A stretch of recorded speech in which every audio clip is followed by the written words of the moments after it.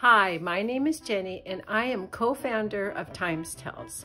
Times Tales got started as a grassroots product in the homeschool community about 20 years ago.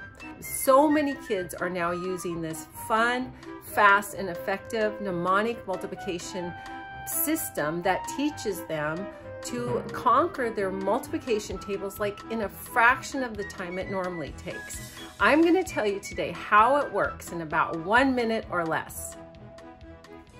So Times Tales basically uses memory cues to trick the brain into retaining information.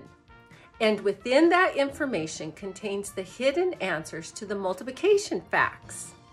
The first step is to assign each number as a character in the Times Tales story. For example, Mrs. Week is the number seven and Mrs. Snowman is the number eight.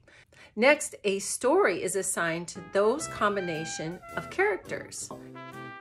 Mrs. Snowman and Mrs. Week went to a birthday party. They brought five cupcakes and six candles.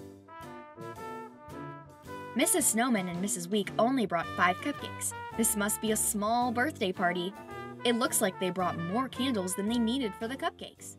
The student then translates. When they see 7 times 8, they go, oh, I remember the story to that. That was about the cupcakes and candles and how there were five cupcakes and there were six candles, an extra one. 7 times 8, Mrs. Week, Mrs. Snowman brought five cupcakes and six candles. Voila, the answer pops into their brain. It's really that simple. And the best part is most kids do not forget these stories, even years later. If you're interested in trying this fun program with your student or child, there is a link below that you can try out the free sample.